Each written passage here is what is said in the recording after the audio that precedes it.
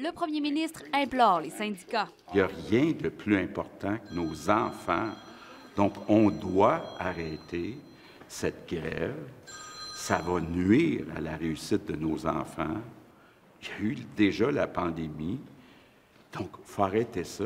S'il vous plaît, je demande donc à tous les syndicats d'enseignants d'arrêter les grèves. La FAE qualifie les propos de chantage émotif. Les représentants du syndicat sont réunis en instance depuis jeudi, soupèsent leur stratégie. Dans la rue, rien n'indique que les enseignants vont lâcher la pression.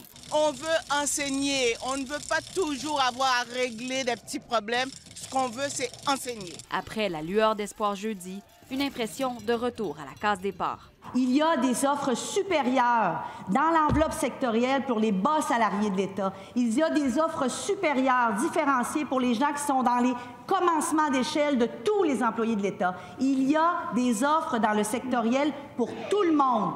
Je ne peux pas m'entendre toute seule, j'ai besoin des syndicats. Des piquets de grève à l'Assemblée nationale, une enseignante est venue rencontrer le ministre de l'Éducation. J'aimerais ça dire comment ça se passe dans les classes parce que je pense qu'il n'est pas conscient de ça. Vous avez de la difficulté actuellement? Oui, ça, fait quelques années que c'est difficile. Je travaille en maternelle.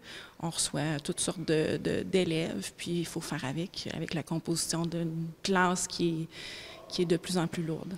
Ça s'est bien passé. On a eu une bonne discussion. On s'est, euh, on s'est écouté l'un et l'autre. Il m'a écouté, oui, mais je sens pas d'ouverture. Tu sais, ça change pas. C'est toujours les mêmes affaires qu'il va répéter. Il n'a rien dit qui pouvait vous dire qu'il comprenait votre situation.